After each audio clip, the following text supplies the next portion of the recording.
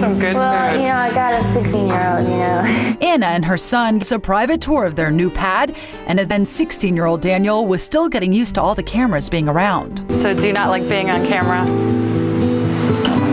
No. Why not? Huh? Because why? Because you're shy? No, you're not. At school, you're crazy. I bet you if y'all were here like an hour and y'all got to know he would be like acting like a monkey. He's kind of shy about the camera, so he's, he's starting to get into it, but at first he was like, uh-huh. But it, it takes him a little while to get used to it. Put your head up, Pokey. Why are you laughing? Huh? You're nervous? Why are you nervous? Aw, don't be nervous.